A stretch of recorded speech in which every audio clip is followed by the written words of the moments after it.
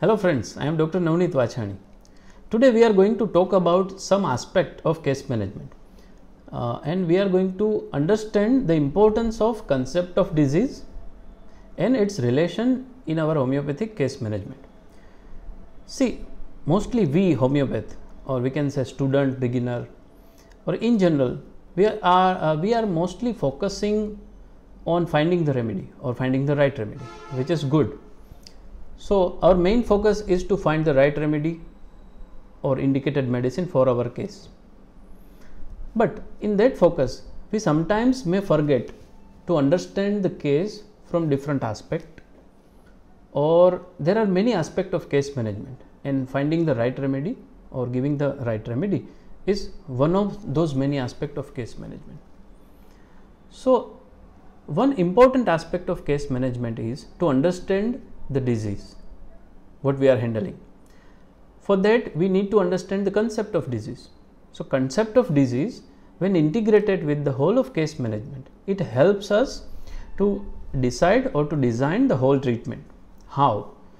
Uh, let me give you an example. If we are handling any case so we need to understand which type of medicine your case needs. Whether it needs acute or chronic, whether it needs uh, phasic medicine or intercurrent medicine.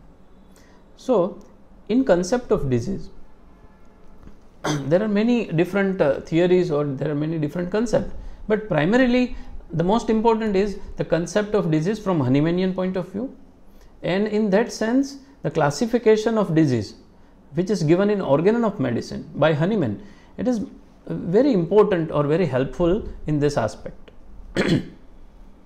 so, you need to view your case management from this classification point of view, whether you are handling acute or chronic, in acute, whether you are handling individual acute or epidemic acute.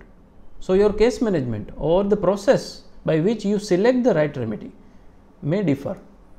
Suppose you are uh, handling any epidemic case. So, the uh, remedy selection process in epidemic what Hahnemann suggested is about genus epidemicus. So, the process of selecting genus epidemicus it is different.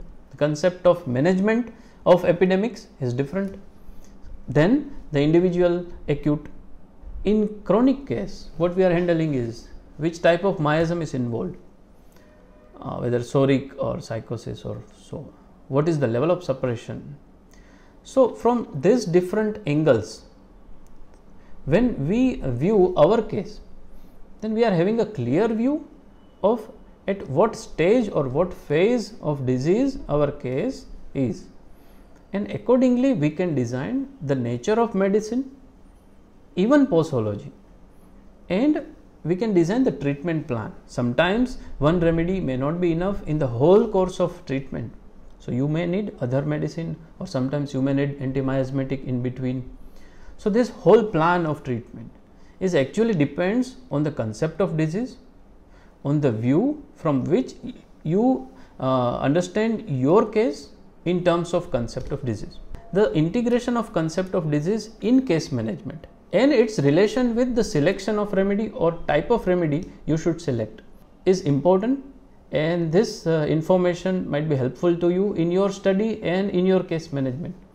Thank you. Thank you.